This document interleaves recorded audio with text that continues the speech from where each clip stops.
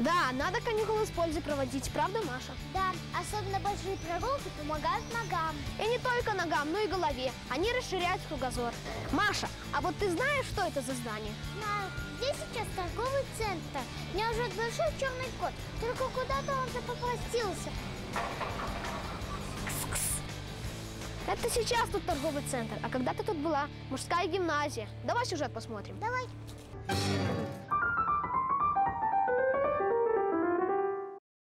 Наталья Кулешкова работает учителем в Третьей Могилевской гимназии. Она нашла столько уникальной информации о здании бывшей мужской гимназии, что на целую книгу хватит. Только вот преподает Наталья Федоровна не историю, а физкультуру. Итак, здание Третьей гимназии изначально строили для мушкетеров. Построили его для Елецкого мушкетерского полка. Строительство закончили в 1809 -м.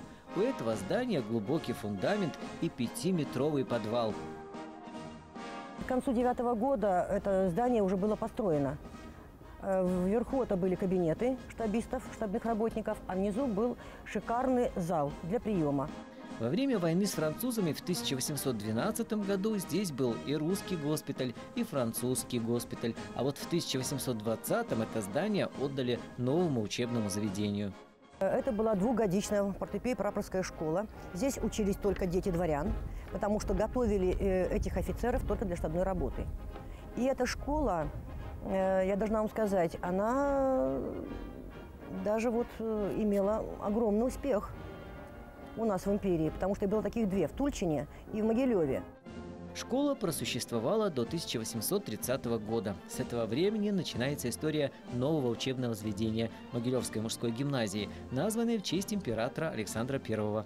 Поначалу в гимназию принимали только дворянских детей, чуть позже гимназистами могли стать юноши из любого сословия. Было так, могли получить э, гимназисты два, э, две медали. Э, могли закончить 7 классов и поступать в университет, могли закончить 8 классов и вторую медаль получить, э, допустим, золотую, за знание греческого языка. Позже территорию гимназии расширили до 6 тысяч квадратных саженей. Это больше гектара. Здесь располагался большой плац, сад и огород. Внутри, э, там на территории, были флигеля, в которых жили учителя, директор. Там, где была фундаментальная библиотека, где был гимнастический зал. А дальше немножко за ограждением там был большой плац, где были гимнастические снаряды, было место для игры в мяч. Классическая мужская гимназия просуществовала в этом здании до ноября 1918 а спустя месяц здесь открылась единая трудовая школа для советских детей. Вот такая большая история небольшого здания в центре Могилева, которое вопреки всему сохранила судьба и сберегли люди.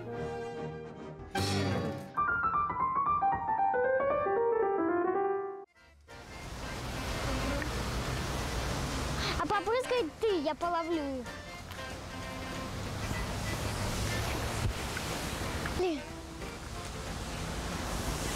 Один словила.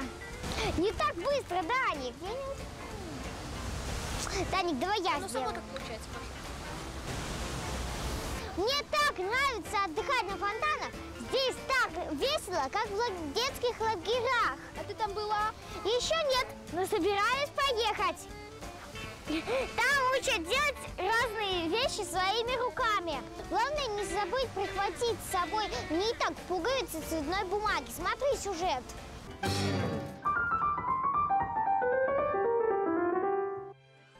Наша Маша, конечно, права. В детском лагере можно научиться многому.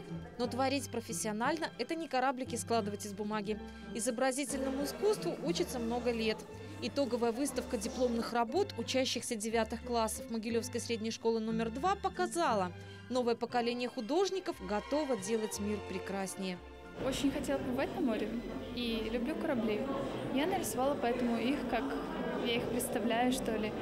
Я выбрала цветы крупным планом, так как мне очень нравится рисовать цветы. Они всегда яркие, э, такие элегантные, всегда поднимают настроение, на них приятно смотреть. И поэтому только вблизи вот можно рассмотреть всю истинную красоту цветка.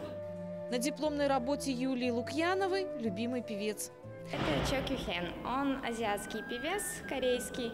А Я его слушаю уже в течение четырех лет, и мне его музыка очень сильно нравится. Он поет баллады, спокойная, нежная музыка, поэтому я изобразила рядом с ним такие красивые цветы, как пионы. Они очаровательные, такие же, как и он. Нестандартный подход к дипломной работе. Видно, что юная художница – личность неординарная. Обращаемся к маме. Не сложно ли с одаренным ребенком? Нет, абсолютно. Она очень хорошая девочка, развивается творчески. Она сама всего добивается. Сама усидчивость, э, трудолюбие, настойчивость. Некоторые работы Юли уже стали подарками для близких и друзей. Она нарисовала нашего маленького внука. Уже у дочки висит да, картина. Вот дарили несколько картин. Особенно приятно, что выставочную площадку юным художникам предоставил художественный музей имени Павла Масленникова. Свой первый шаг они делают в таком большом музее в таком э, здании, где висят наряду с их работами работы великих мастеров.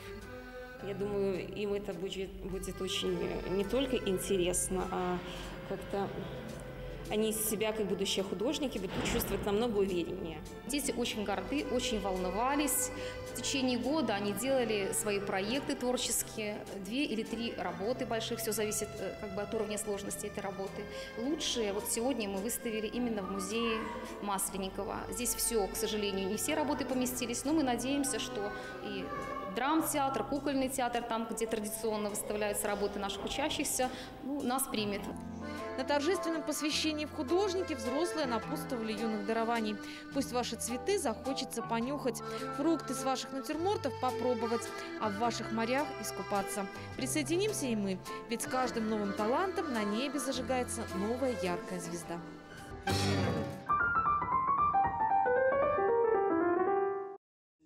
Здесь собрались не просто ученики школы. Подведение итогов учебного года – традиционное мероприятие для всех белорусских школ. В этом году программа «Большие маленькие люди» наведалась в седьмую Могилевскую школу. Большой праздничный концерт – это уже добрая традиция, поделился с нами директор. В этом году я считаю, что мы, вот наше все школьное сообщество, достаточно хорошо потрудились. И результат не заставил себя ждать, ведь по итогам 2012 года мы завоевали четвертое место среди школ Октябрьского района. Это большой результат для нашей маленькой школы. 150 дипломов. На сцену поднялась почти вся школа. Есть среди ребят и юные исследователи, и программисты, и химики с биологами. Многие стали победителями республиканских дистанционных олимпиад. Интереснее всего было работать над генетической темой по биологии. Поверьте, это отличный год. Я и вообще-то не ожидал, что так будет, и этот год пронесся больше, ну, быстрее всех других. Актовый зал украшен работами Кати Исаевой. Ученица 9 класса получила диплом за достижения в прикладном искусстве. Ее руками сделаны картины для школьной выставки. С 10 лет этим, этим занимаюсь. Люблю кропотливую работу. Ну, из соломки, из э, кожи делаю, из бисера. А вот концертную программу обычной точно не назовешь. Например, китайский народный танец.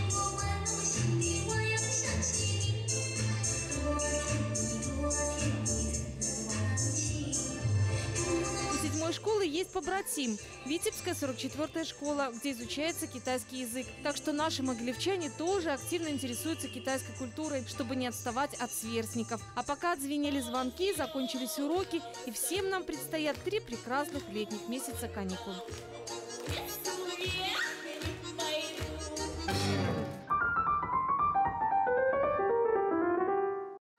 Интересно, а как наши взрослые отдыхали в пионерских лагерях?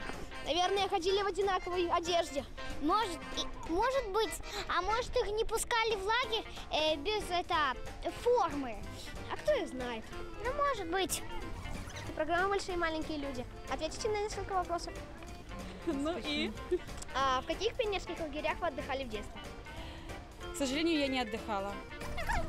Ой, это так давно было. Пионерских? Да. Советских? Пионерский лагерь «Дружба», «Чайка» и все.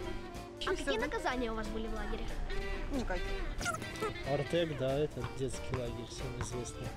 А наказывали вас?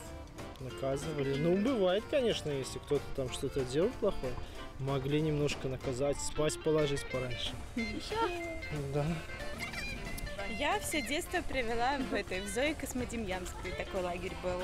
Все детство? Ну да, почти каждое лето мы там отдыхали. Знаменитость была там?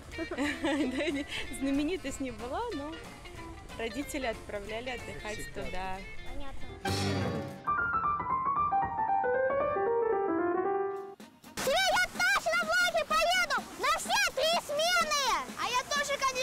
используй проведу.